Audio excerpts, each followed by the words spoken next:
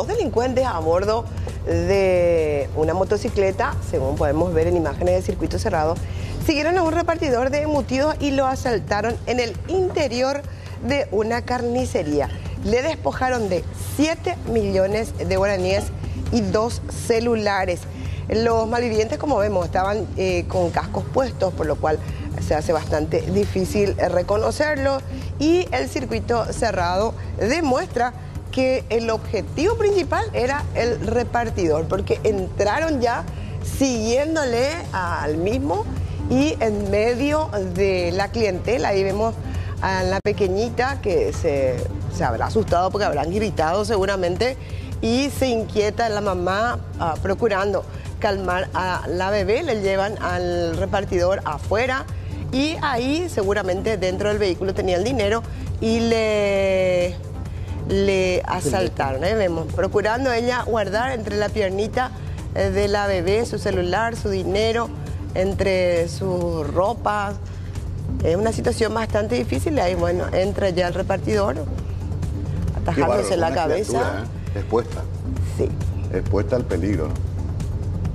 qué terrible. Qué momento más difícil el que vivió. Pero van directo, al hombre van directo. En Paraguay queremos que usen casco manejando la moto, no asaltando lugares. Sí, en realidad estos hubieran entrado como los que manejan la moto, con el casco en la... Sí. Claro, ahí le- él le dice, ahí está, saquen, sin problema. Tenían arma de fuego.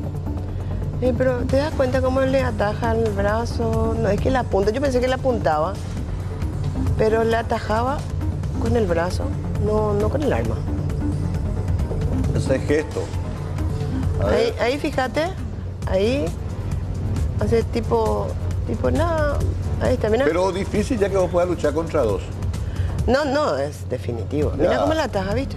Llega La. ¿Y el arma? Ahí bajó. Sí. Ahí entra él le empuja con el arma. Hasta luego. Nada más ya puta. Y sí, no, no. Tampoco Entrega. vas a dar tu vida por la causa Ajena. ajena, ¿verdad? Eh, mamá, sabemos también cuánto cobran ¿verdad? Pero digo, siempre vemos algunas veces reacciones heroicas que salen bien y otras veces ya supimos casos salió muy mal. Eh, difícil, difícil saber cómo reaccionar. Pero así estamos, mientras hay discursos, mientras hay planes, mientras se discute en el Parlamento, seguimos con la ola de inseguridad